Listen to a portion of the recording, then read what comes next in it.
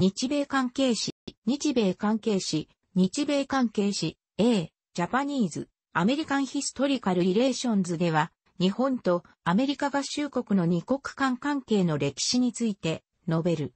時間軸としては1853年以後となる。両国はアメリカの領土の拡大とフロンティア消滅以後、時に強圧的に、時に協力的に歩み現在に至る。日本とアメリカの外交関係は1854年の日米和親条約をもって開始されるが、それ以前にも両国の接触はあった。1853年、嘉永6年、東インド艦隊司令長官、マシュー・ペリーは、米国大統領、フィルモアの国書を幕府にもたらすために、軍艦4隻を率いて、浦賀に来航した黒船来航。国書を受け取った幕府は、その回答を翌年に行うこととし、ペリーは一旦琉球へと去った。幕府はこれを朝廷に伝え、その後諸大名に国書を示し意見を問うた。当時、外交などに諸大名が口出しをすることはなく、異例のことである。幕府の困惑ぶりを示すものと言えるが、かかる来航には何も予告がなかったわけではない。すでに前年の1852年、嘉永5年にオランダ商艦長クルチウスが東インド艦隊の来航を告げていた。幕府はこの告知を無視していた。ペリーによる黒船の来航にあたり、太平の眠りを覚ます植木線立つた4杯で夜も眠れずのような強化が流行る。翌1854年、嘉永7年1月16日、ペリーが再度7隻の軍艦を率い再び、神奈川沖に来泊。2月10日には、林福平と交渉が開始された。幕府は漂流民保護、浸水食給与などを承認、通称については決しがたき旨を回答した。3月3日、日米和親条約、神奈川条約が締結され、日本は下田、函館の2港を開港した。1855年、安政2年下田で条約批准。1855年、安政2年、幕府は朝廷に条約締結の事情、英、米、露国、各国との条約締結を愚鎮する。先の条約の要項通り米国は、1856年、安政3年10月21日に、中日総領事ハリスを下田に来させる。27日にはハリスが下田奉行に対し、通商の自由、通貨交換比率の取り決めを要求する。これに対し翌年5月26日下田条約、日米条約を締結する。その後、10月21日には、ハリス、江戸城に途上し、将軍に、米大統領、ピアースの新書を提出することになる。これに対し途上反対の旨が諸大名などから、老中に提出されたようだが結局途上となった。11月1日には、この新書、ハリスの工場書の写しを諸大名に示し、意見を求め、諸大名は意見を上申。12月2日、老中、ハリスを招き通商貿易と講師の江戸駐在を強化。11日には、幕府全権の井上清治家、下田奉行、岩瀬忠成、目付とハリスとの間で、日米修好通商条約の交渉を開始することとなる。13日には、幕府がこの条約を締結すべき旨を朝廷に伝える。1858年、安政5年1月5日、幕府は直居創生のため、条約調印の60日延期をハリスに伝える。8日、堀田正俊直居創生のため京都に赴く。翌日三代。3月20日、天皇は条約調印拒否の直答を正俊に与える。その後、幕府は再び直書を諸大名に示し、意見を聞く。6月19日、井上、岩瀬の両名は、神奈川沖のポーハタン号で、ハリスと日米修好通商条約及び貿易商定に調印。これが安政の後加国条約の最初となる。12月30日、老中、真鍋秋勝三大使条約調印了解の直条を受ける。そして1860年、安政7年には2つの日本人グループがアメリカに上陸する。1月18日に、県米特使外国奉行、新見正沖、村垣則正、目付、小栗忠政らポーハタン号で出港。万延元年、1860年だがウルー3月に、改元されたウルー3月28日、米大統領部キャナンと会見。条約批准。それに先立つ1月13日に、関林丸で軍艦奉行、木村義武、軍艦総連所教授、勝海舟らが米国に向かい2月26日に、サンフランシスコ港に到着している。積極的に関係を結ぼうと、死者を送ってきたり軍艦を引き連れてきたりしていたアメリカであったが、日米修好通商条約の締結、批准後、下関戦争などの長州藩と四国艦隊、アメリカを含むと攻防などはあったが、積極的な関係は一時途絶える。理由としては、下記の二つが挙げられる。しかし、この時期が過ぎ、明治政府が成立すると、先の不平等条約を撤廃しようと、日本側は動き始める。その第一陣的なものとなるのが、岩倉使節団である。1872年3月4日昼、岩倉智美は、米大統領グラントに謁見する。1878年、明治11年には、日米条約、協定を修正し、日本の関税自主権を認める役所に調印、批准されるが、施行されなかった。1886年、明治19年、外相の井上薫が、各国公使と第1回条約改正会を開くが、不調に終わった。1899年、明治32年、日米通商公開条約が締結され、違い法権は撤廃された。1911年、明治44年日米通商公開条約改正により、関税自主権を回復し、不平等条約の撤廃に成功した。1904年、明治37年に日露戦争が勃発する。日本は両洋海戦、法天海戦で勝利し、日本海海戦でも勝利した。しかし、日本の国力は限界に近づいており、日本は米大統領に日露講和の遊戯的圧戦を希望した。これに応じた大統領セオドア・ルーズベルトは1905年、明治38年6月9日に、日露両国に講和を勧告し両国は、休戦に応じた。そして講和会議を、ニューハンプシャー州のポーツマスで開き、ポーツマス条約を締結する。しかしこの条約には賠償金の規定がなく、戦争に勝ったと考えていた日本の一般国民には不満が多い内容あり、日本国内では、至るところで暴動が起きた、日比谷焼き討ち事件など。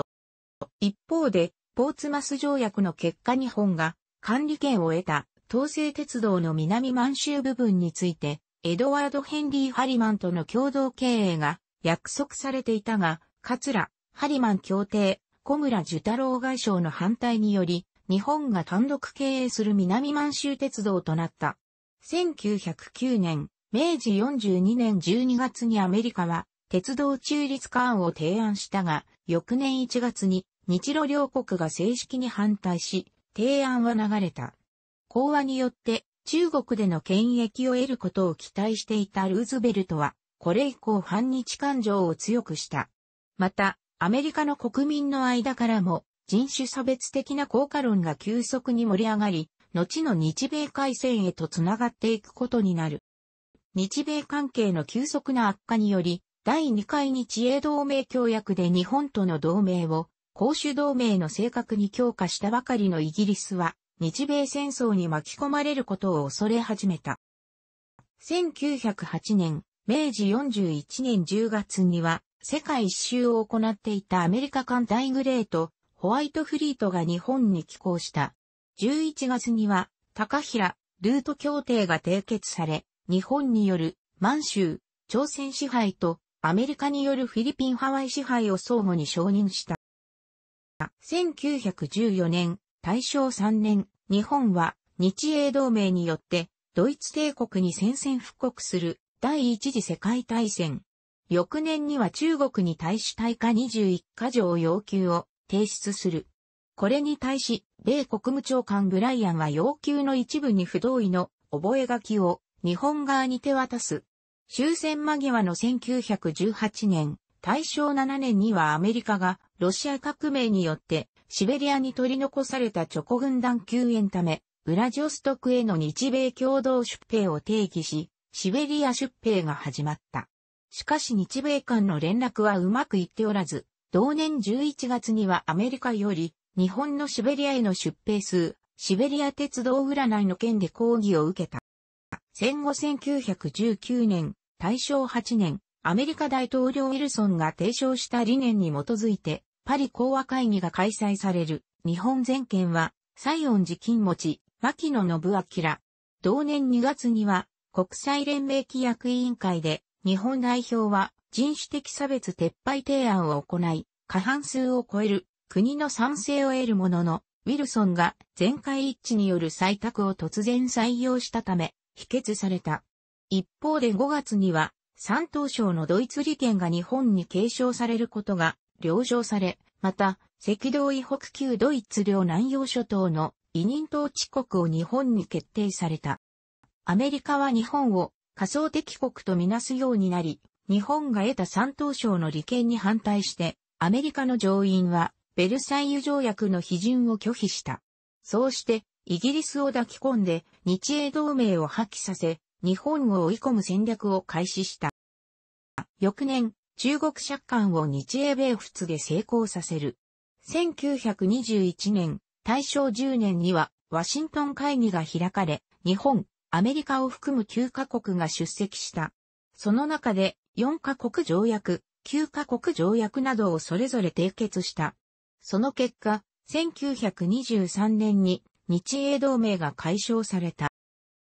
翌1924年7月1日にアメリカ合衆国で排日移民法が施行される。この頃から次第に日本で反米感情が高まった。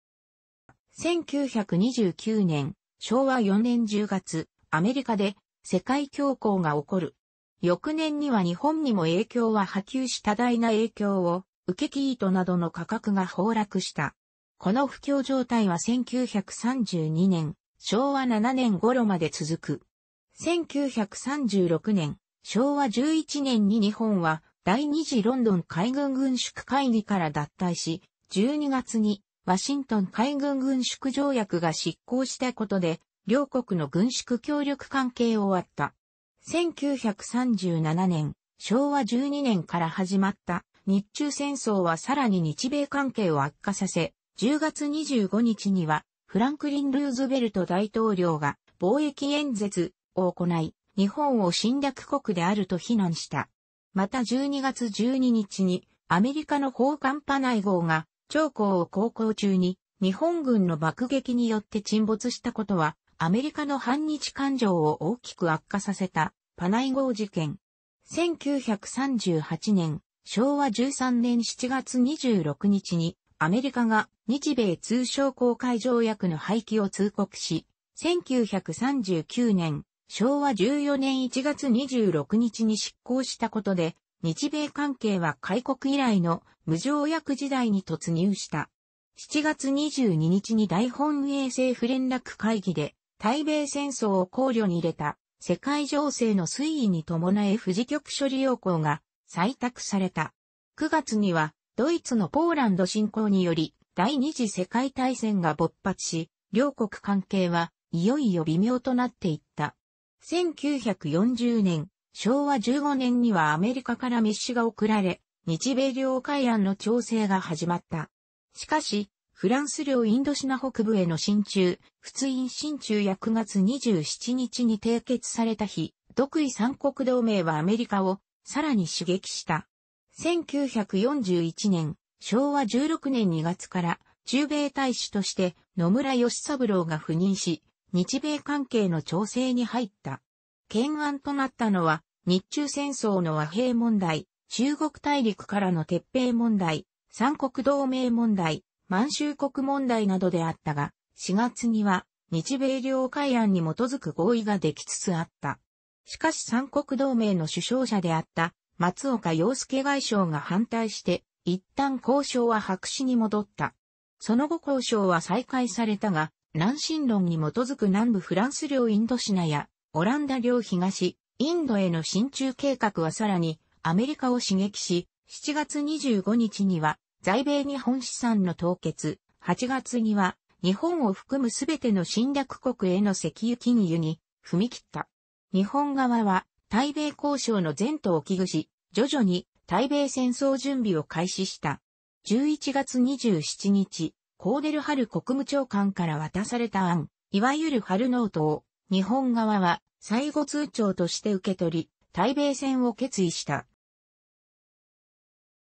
12月6日、日本はハワイの真珠湾軍港を攻撃し、真珠湾攻撃、アメリカ、イギリス、オランダに宣戦布告した。三国同盟を締結していたドイツやイタリアも追随してアメリカに宣戦。第二次世界大戦はアジア、太平洋地域を含む大規模なものとなった。当初、日本は勝ち進んでいたものの圧倒的な工業力で軍艦や戦車を整えたアメリカは攻勢に出る。海戦翌年のミッドウェー海戦の敗退、ガダルカナル島の陥落と続き日本は圧倒的に不利な状態に陥っていく。そして1945年、昭和20年8月6日、アメリカ軍による広島への原爆投下、8月9日の長崎への原爆投下を経て、ついに日本政府は8月14日、ポツダム宣言の受諾を決定した。9月2日に降伏文書に署名し、日本の降伏、戦争は終結した。1906年、明治39年、サンフランシスコ市の学務局が日本人学童の隔離を命令した。これは、排日移民行動なるものの皮切りと言われる。この行動には、当時のセオドア・ルーズベルト大統領による異例の介入があった。楽しくご覧になりましたら、購読と良いです。クリックしてください。